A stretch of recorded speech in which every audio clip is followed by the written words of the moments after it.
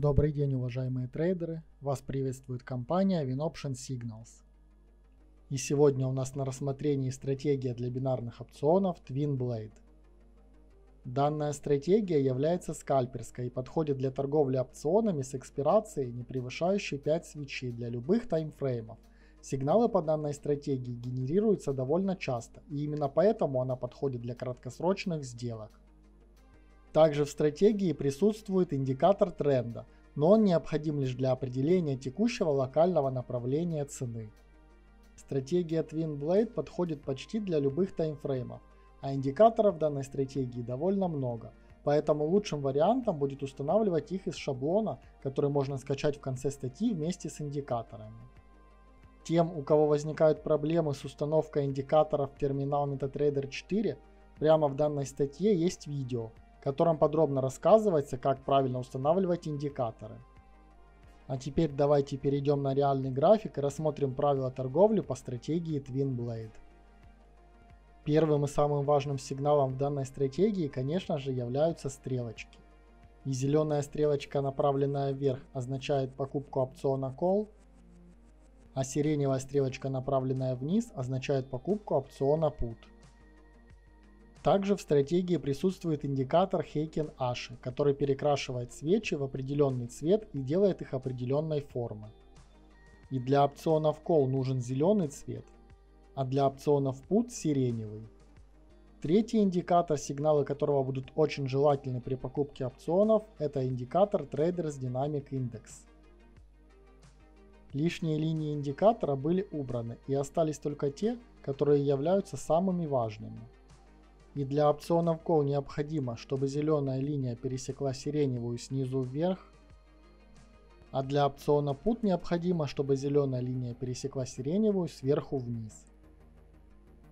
Также иногда можно опираться на показания индикатора iTrend, который находится в самом низу. Но он не дает сигналов для покупки опционов, а только показывает текущее направление цены. И если зеленая линия пересекает нулевую желтую линию снизу вверх, то это означает, что преобладает восходящий тренд. А при пересечении нулевого уровня зеленой линии сверху вниз означает, что преобладает нисходящий тренд. И несмотря на то, что стратегия является скальперской, можно заметить, что некоторые сигналы бывают почти подряд, что приносит, конечно же, только убыток. Поэтому даже на малых таймфреймах стоит вести торговлю только по тренду и опираться на индикатор iTrend или любой другой трендовый индикатор. Также обратите внимание на то, что индикатор Heiken Ashi меняет форму свечей. И это значит, что иногда минутные экспирации, как кажется на графике, могут приносить прибыль, но на самом деле там был бы убыток. Поэтому лучшим вариантом будет использование экспираций от 3 свечей и выше без попытки торговать каждый сигнал с экспирацией 60 секунд. А теперь давайте перейдем на реальный счет и попробуем поторговать по данной стратегии с экспирацией в одну минуту для тестов и посмотрим, что из этого выйдет.